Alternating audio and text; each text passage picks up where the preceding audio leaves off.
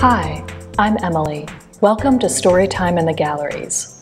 Today's book is Perfect Square by Michael Hall, read with permission from HarperCollins Children's Books. This story is about a square that undergoes a transformation. This reminds me of a painting in the galleries. Let's take a look. This is Homage to the Square, Early Rising 2 by Josef Albers. Here, the artist has painted a series of overlapping squares. He made hundreds of paintings exploring this theme, studying the relationships of combinations of different colors. Notice how an orange next to another orange has a completely different quality than an orange next to a blue. Now, on to the story. Perfect Square by Michael Hall.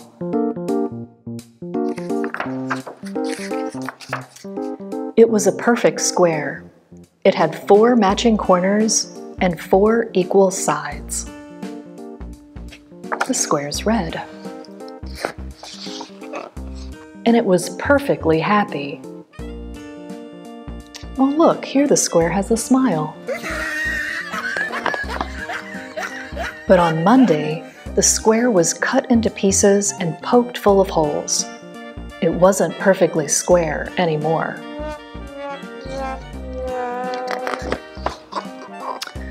So it made itself into a fountain that babbled and giggled and clapped.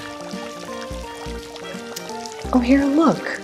A couple birds have landed on the fountain. On Tuesday, the square was torn into scraps.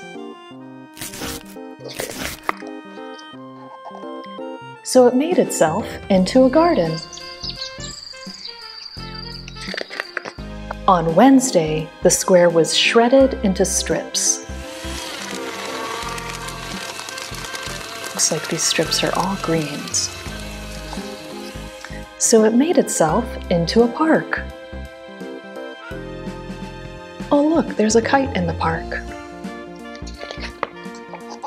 On Thursday, the square was shattered. So it made itself into a bridge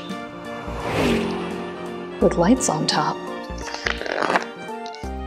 On Friday, the square was snipped into ribbons. Looks like they had some special scissors for this one so it made itself into a river. On Saturday, the square was crumpled and ripped and wrinkled. So it made itself into a mountain. On Sunday, the square waited to see what was next. It waited and waited nothing happened. Its four equal sides were confining. Its four matching corners were rigid and cramped. Oh no, now the square is frowning. So it made itself into a window that looked out on a mountain that gave birth to a river that was crossed by a bridge that led to a park that was home to a garden that had at its center a fountain that babbled and giggled and clapped. Oh, look, now the fountain has kids underneath. The end. After the story, we make something inspired by what we've seen and heard. Let's play with squares and color.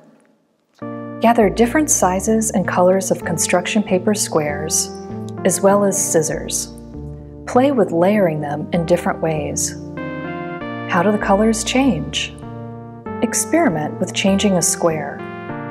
You can cut it, tear it, or punch holes in it. You can even make a series.